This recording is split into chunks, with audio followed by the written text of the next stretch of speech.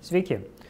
Šiandien vasario 11 dieną mūsų apžvalgoje mes aptarsime, kaip ir įprasta, e, praeitos savaitės naujienas ir įvykius, kurie mūsų laukia šią savaitę.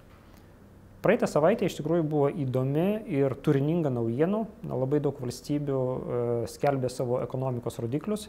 Ypatingai daug buvo duomenų apie verslo pasitikėjimo rodiklį iš pačių įvairiausių šalių. Dabar neminėsim, bet e, esmė yra ta, kad šitie duomenys suteikia tam tikro pagrindo investuotojams priimti sprendimus ir reaguoti į šių duomenų e, įtaką, jeigu taip galima pasakyti, rinkai.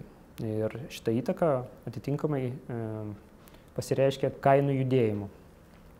Tai svarbiausi duomenys buvo tokie. Ketvirtadienį e, viešai pasisakė Europos centrinio banko vadovas Dargi ir jo kalboje e, buvo aiškiai akcentuota, kad Europos reguliatorius nemato ryškių pavojų dėl deflecijos ir išvelgia pakankamai požymių, kad galėtum, galima būtų teikti, kad ES e, ekonomikos augimas nors ir nėra spartus, bet jis yra tvarus.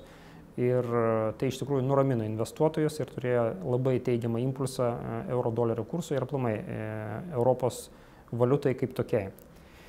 Penktadienį dar vienas įvykis, kuris e, iš esmės sukrėtė rinką, bent jau tai buvo manoma, kad sukrės rinką, tai buvo e, JAV darbo rinkos statistikos skelbimas. Ir e, lūkesčių dėl šių duomenų buvo daug ir įvairių. Iš tikrųjų, paskelbti duomenys buvo ne vienareišmiški. Viena vertus parodyta, kad bedarbystė JAV sumažėjo, nuo 6,7 iki 6,6 procento, tai yra teigiamas rezultatas, tačiau naujai sukurtų darbo vietų pramonėje e, buvo sukurta iš tikrųjų ženkliai mažiau negu kad buvo tikėtas.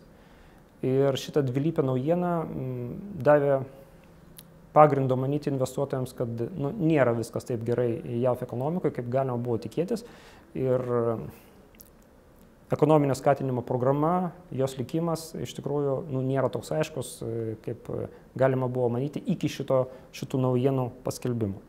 Be minėtų naujienų, kaip jau minėjom anksčiau, e, teigiama statistika išėjo ir dėl kitų šalių. Ir ypatingai pažymėtina duomenis, teigiami duomenis apie e, Australijos, Naujosios Zelandijos ir Kanados ekonomikas. Šie duomenys pasirodė Lietuvos laiku neįprastu momentu. Nu, ta prasme, tai buvo vėl, labai vėlyvos žinios arba, arba žinios išėjusios labai ankstyvą rytą. Tai nepatogu iš tikrųjų fiziškai, bet rinkos dalyviai, kurie norėjo pasinaudoti tom naujienomis, turėjo puikią progą. Ir specifika šitų naujienų ta, kad rinkos, rinka reagavo labai adekvačiai, ta prasme prognozuojamai.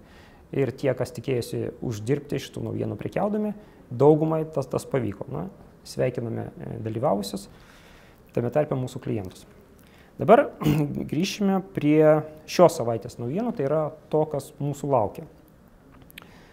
Pirmadienis ypatingomis naujienomis nepasižymėjo, tad e, rinkos reakcija į, į tokią e, naujienų vakumą galima būtų pavadinti kaip štiliumi. Todėl kalbėsime apie dalykus, kurie, aktualūs, kurie bus aktualūs šią savaitę. Jau šiandien, antradienį, e, pasisakinės Federalinio rezervo sistemos e, naujoji vadovė Janet Yellen. Ir tai jos pirmoji kalba e, kaip užimančios tokį postą ir jinai pristatinės ketvirtinę e, reguliatoriaus ataskaitą.